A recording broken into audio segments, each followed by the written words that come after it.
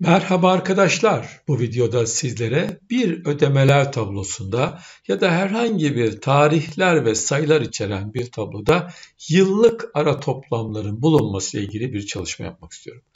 Arkadaşlar görmüş olduğunuz gibi tarihler var, birçok yıla ait ödemeler var. Tabii ki biz genellikle markayı değil de onların ara toplamlarını e-toplayla, samifle buluyorduk. Burada ise tarihlerden yıl kısmına ilişkin sadece alarak bir ara toplam nasıl alırız onu göstermeye çalışacağım. Tabii ki temel kullandığımız fonksiyon çok e topla. İngilizce sumifs, e, İngilizce sürümlerde yine tarih ve date fonksiyonunu kullanıyoruz. Formüle baktığımızda şu şekilde arkadaşlar ama birazdan beraber tabii ki yazacağız.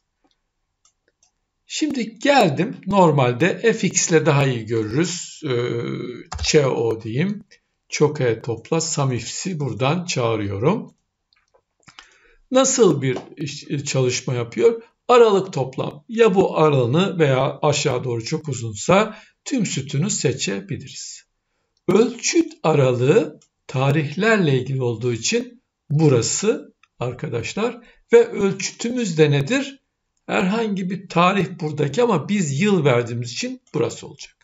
Ve almak istediğimizde çok topu sıfırı gördük. Çünkü neden? Buradaki eşleşmiyor. Biz buraya bunu koysaydık bakın bununla eşleşirdi kontrol Z. Peki o zaman buradaki yıl tarihini bu yılların başlangıç ve bitiş tarihlerine nasıl getiririz? Onun için bilmemiz gereken ikinci fonksiyonumuz tarih, date fonksiyonu arkadaşlar. Tarih diye yazıyorum. Hatırlarsanız çok kullanıyoruz.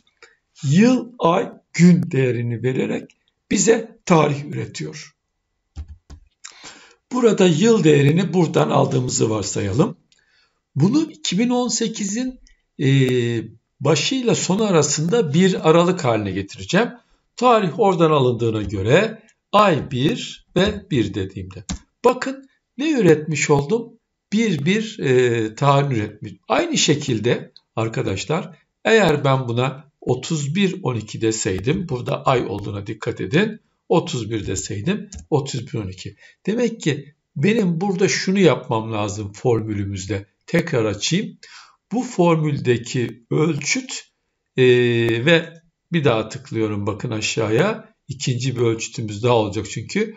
Seçilen ilin e, ilk günü yani 1-1-2018 ya da yılın ve e, son günü şeklinde o aralığı burada belirteceğiz arkadaşlar. Yani bakın ne yapıyorum? E, ölçüte buraya geliyorum. E, tarihi e, artık yazıyorum. Şöyle büyüterek yazayım olmazsa arkadaşlar e, mercek açayım. Siz daha iyi görün. Ölçütümüz şu şekilde sanıyorum oluyor. Büyüktür, eşittir büyüktür eşittir ampersanla birleşiyor. Bunlar biliyorsunuz tarih tarih fonksiyonumuz aç parantez. Buradaki e, orası neresi? E, e de yazıyoruz. E, 1 ve 1. Umarım sintakste bir hata yok. Olursa da düzeltiriz. Hiç problem değil. Peki e, geçersizi aldık zaten. Tamam e, büyük eşitliyor. Tamam. Ben yine de e, bir yapayım. Şeyine bakarız. E, düzeltiriz. Şimdi e, sanıyorum şuna gerek yok. Çok pardon. Evet. İyi.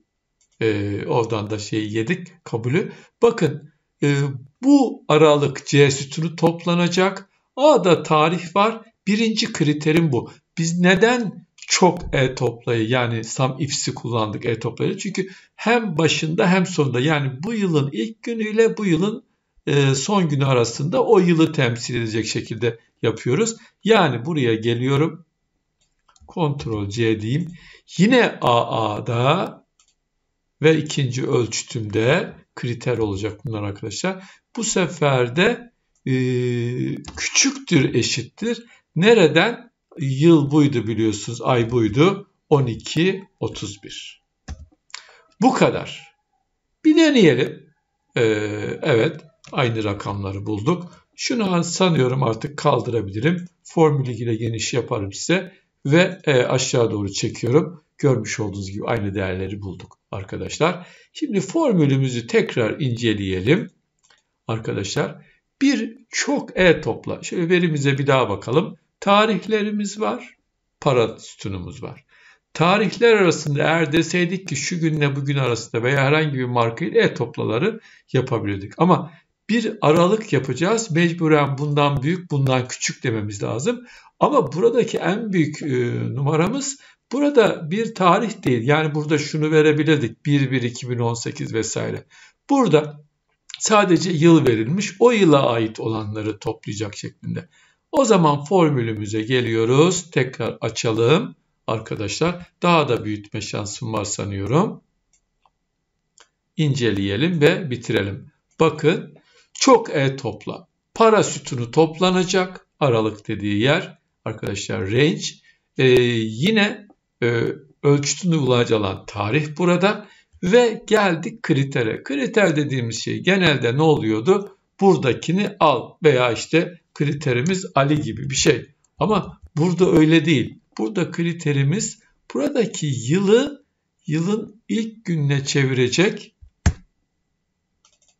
e, buradaki yıl bilgisini yani E4'tekini tarih date fonksiyonunu kullanarak e, bir 1-2018 haline çeviriyor ve tabi devam edecek bunun son gününde bu şekilde çevrildiği için demek ki iki tarih aralığını bu yıl bilgisini kullanarak oluşturuyorum. Yani bu yılın ilk günüyle son gün arasındaki para toplamı bu yılın bu yılın bu yılın. Burada ay olabilir, düşü olabilir benzer senaryolarda arkadaşlar kullanılabilirdi. Görmüş olduğunuz gibi e, bu şekilde yaptık. Bir e, çok el topla kullanım yaptık.